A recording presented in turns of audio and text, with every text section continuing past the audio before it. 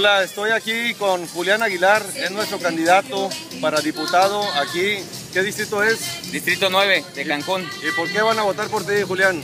Pues estamos listos para hacer un contrapeso en el Congreso, para evitar los abusos y los excesos del gobierno del Estado y porque queremos trabajar para mejorar las condiciones de vida de los quintanarruenses.